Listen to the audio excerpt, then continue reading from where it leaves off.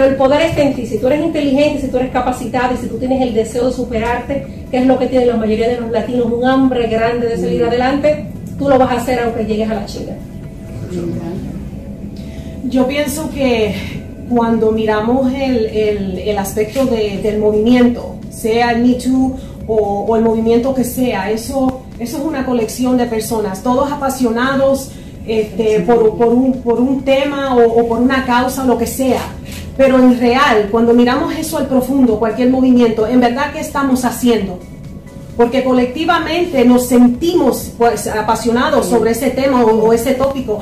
pero la transformación, el cambio, donde la vida de, una de esas mujeres, donde van a poder ser transformadas, donde van a poder ser empoderadas, donde van a poder de verdad subir y echar hacia adelante y sobrellevar cualquier desafío es en la acción que se toma de adentro, no es en la colección, en el movimiento, es en, en, el empoderamiento individual, el poder femenino con que ya esa mujer, todas nosotros hemos nacido. Hay que activarlo, activar ese poder, esa fe y venir con mucho deseo de querer desarrollar el propósito por el cual llegaron, porque no vienen por coincidencia, vienen por un propósito activar esa fe y ese poder y ahí van a transformarse.